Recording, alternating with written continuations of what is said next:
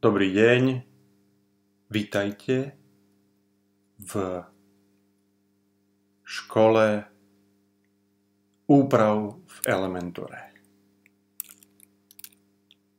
Takže, Johana, ja ti takýto podobný mail pošlem. Ty sa cez to prihlásíš do WordPressu kde klikneš na sekciu stránky. Hovorila si, že sa v tom orientuješ, takže počítam, že toto rozhranie ti nie je cudzie. E, a ja tie stránky upravujem takýmto spôsobom. Otvorím si to ešte raz, aby sa mi to jednoducho kopírovalo, to znamená, mám to otvorené dvakrát. Klikám na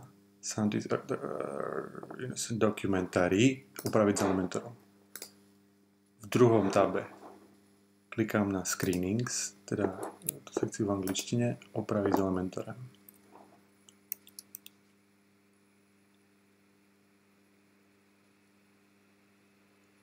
Tak. Klikám sem, označujem sekciu. Ctrl copy, Ctrl V. Mám vytvorenú novú sekciu, ktorá je naformátovaná rovnako ako predtým. A z hlavnej stránky si vyberám informácie. Kliknem na dátum, všetky, upravy, všetky, kopi, všetky nové texty kopírujem z tohto políčka, nie z tohto, pretože mm, kvôli tomu, aby to nebolo uh, naformatované nesprávne. Dátum je rovnaký, to je s časom.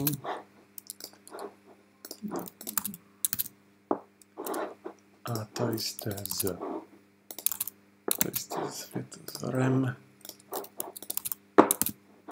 A posledná vec je odkaz, ktorý uvidíš tu.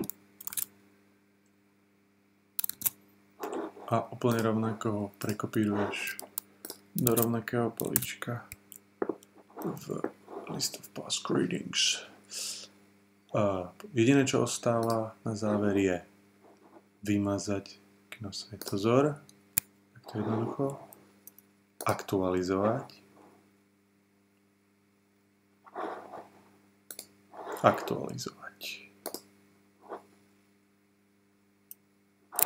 Hotovo. Možno ďalšia poznámka. Ešte raz. Všetky úpravy v textoch rob prosím v tomto okne, pretože môže uh, narušiť formatovanie a uh, nebude to fungovať responsívne. Ale to sa samozrejme potom dá upraviť, ale je to zbytočne práce. Tak ďakujem za pozornosť.